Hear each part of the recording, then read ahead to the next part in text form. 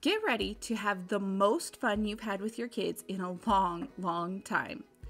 Every month, we do a picture book inspired unit complete with a science experiment, math and reading games, sensory bins, and an art project. This month, we're all about space, inspired by Jimmy Zangwow's Moon Pie Adventure. And today, we're making planet art.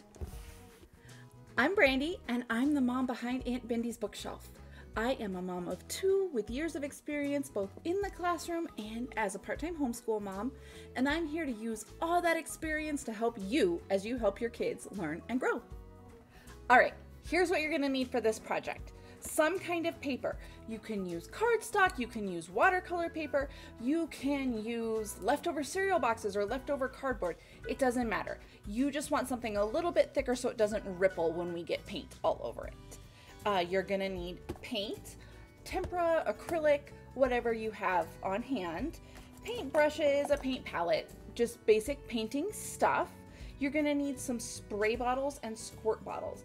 Now, I got mine from the dollar store, but if you wanna be great, use this as a recycling project, look around your house and see what you have. I am talking ketchup bottles, mustard bottles, um, anything with a squirter, random spray bottles from like maybe Windex. Now make sure that you clean them out really, really well, especially if you're using chemicals. You don't want to mess with, um, you don't want chemicals messing around with your paint in there. So clean it out really well before you use it, or just get new ones from the dollar store, whichever you prefer.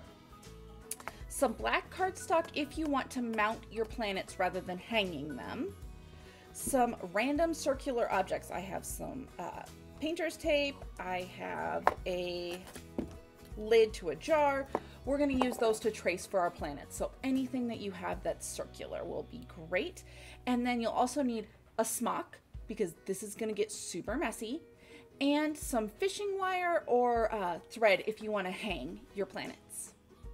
This project has a couple parts and don't be afraid to split it up over a couple days if you want. Kids sometimes get bored with a multi step project. There is nothing wrong with making it into several different mini projects. First thing we're going to do paint the cardstock. This is quick and easy. Just plop some paint and brushes down and spread the love. This is a fabulous centerline crossing activity for kids and is great for working their brains. Now just let these dry. While the cardstock sheets are drying, we get to do the fun part. We are gonna fill all of our bottles, spray and squirt with paint. Here's what you do. Take your paint, acrylic, tempera, whatever you have, and put it in the bottles.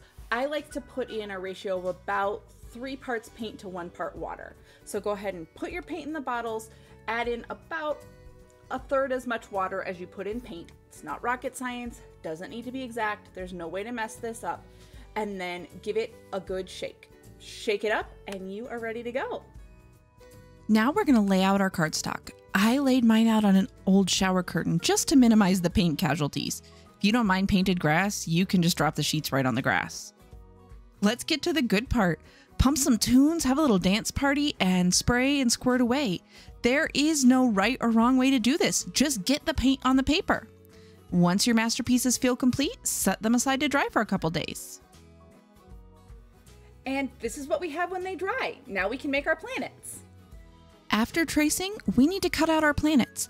If you have kids that are working on perfecting their cutting, this is a great chance to practice. If you have kids that aren't quite ready for scissors, you can do the cutting. And here are our planets. We have a couple options now that our planets are done. We can attach some fishing line to the planets and hang them mobile style. My kids had a space themed room for years. Wouldn't those have been awesome in it? If you'd rather make a picture for the wall, you can take a few panels and glue them to black cardstock. I took some gold paint and splattered my cardstock to look a little bit like stars in the sky. Glue them wherever you want, and look how beautiful that is. It was easy, fun, and just a little bit messy. That's all the hallmarks of a great art project. If you had fun, go ahead and hit the subscribe button. We do a new art project based on a picture book every single month. And while you're waiting, go ahead and check out some of my other art projects. I'll link them here.